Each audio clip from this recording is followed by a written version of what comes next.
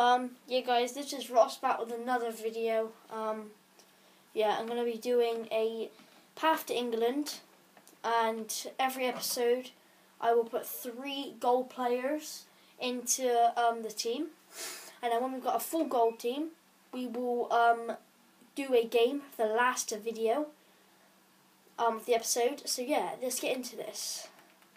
So Sinclair goes in for this left mid. There. And then Welbeck will go in for this um, player. We have a lot of upgrades in that. So there we go. Um, we might swap them around like that. Yep. And then our right midfielder is going to be um, Lennon.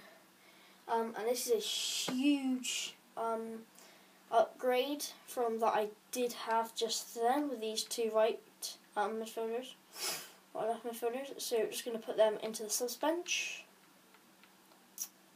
And yes, so this episode is going to be kicking off very soon.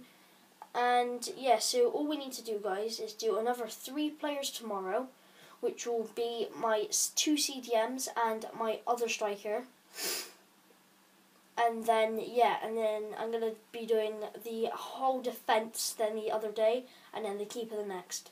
So yes, that is the um, three golds I just put in. So Lennon there, high medium, pretty good. Right foot, weak foot, three skill moves, three, 850 coins. Very very cheap player. Um, five foot five, ain't very tall, and yeah, pretty decent stats overall.